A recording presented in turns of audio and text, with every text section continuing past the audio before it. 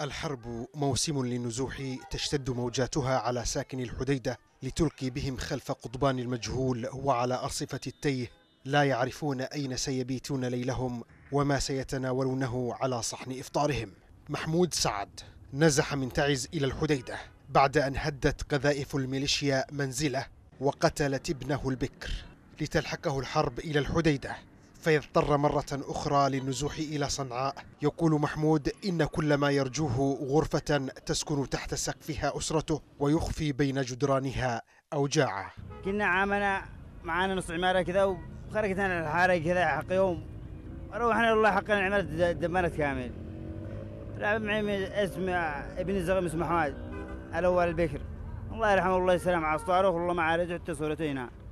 معي ثلاثة بنات وابن رحنا الحديدة الحديدة ما استمرناش رجعت صنعاء صنعاء وصلنا للشارع الزبيري. والله ذا بهذا ولا حصلت تحت البيت ولا أي مكان.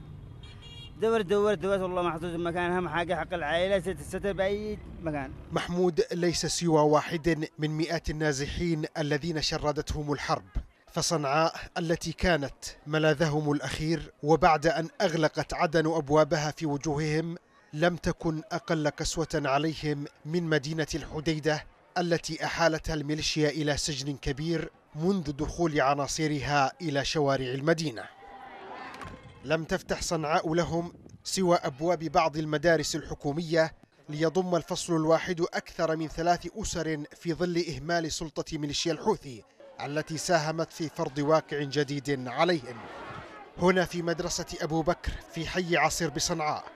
يقفون في طوابير أطول من صبرهم على مر الحياة في انتظار صرف وجبة واحدة مدتها إليهم بعض أيادي المبادرات الشبابية وينتظرون عل سقفا يمنع عن ظهورهم سياط الشمس. يبدو أن الأيام القادمة لن تكون أكثر رأفة بهم إذ ستشهد ارتفاعا في أعداد النازحين إذا ما استمرت المعارك على شريط الساحل الغربي وصولا إلى مدينة الحديدة. وعلى رغم ذلك لم تلتفت الحكومة إلى أوضاعهم حتى الآن باستثناء تصريح لرئيس اللجنة العليا للإغاثة عبد الرقيب فتح أفصح فيه عن إعداد خطة شاملة لإغاثة مناطق الساحل الغربي ومحافظة الحديدة على وجه الخصوص.